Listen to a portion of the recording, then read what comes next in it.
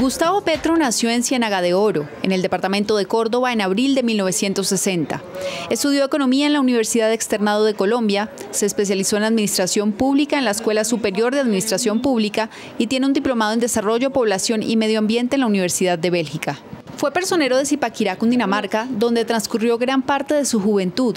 A los 24 años fue elegido concejal de ese municipio y fue entonces cuando se vinculó a la NAPO, y posteriormente al grupo guerrillero M19, del que fue el más joven de los miembros de la dirección de la región central y uno de los promotores de su desarme, junto a Carlos Pizarro y Antonio Navarro Wolf. La historia del M19 marca los orígenes políticos de Gustavo Petro y unas profundas reflexiones que desde su militancia en el M19 él hizo en torno eh, a la paz, a a la posibilidad de una democracia muchísimo más amplia en nuestro país. Tras la Asamblea Nacional Constituyente del 91, en la que reinició su vida civil, fue elegido representante a la Cámara por Cundinamarca como miembro de la Alianza Democrática M19. Más adelante, al no lograr una curul en las elecciones de 1994 y ante amenazas en contra de su vida, fue nombrado como agregado diplomático en Bruselas durante el gobierno de Ernesto Samper.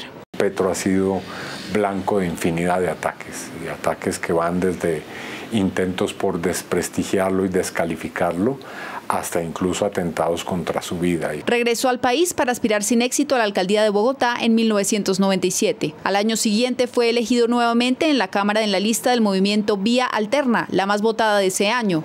Desde entonces se convirtió en uno de los congresistas más visibles, promotor de debates que evidenciaron la alianza entre políticos y paramilitares y un referente de la izquierda opositora a los gobiernos de Andrés Pastrana y Álvaro Uribe Vélez.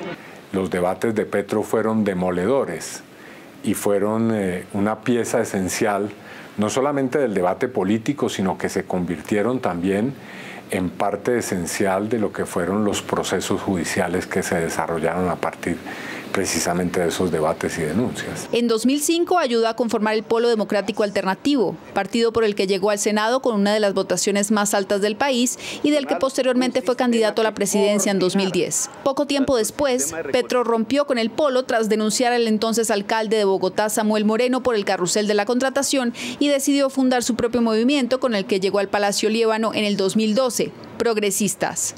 A raíz de la implementación de un nuevo modelo de recolección de basuras, el 9 de diciembre de 2013 la Procuraduría lo inhabilitó y destituyó en primera instancia.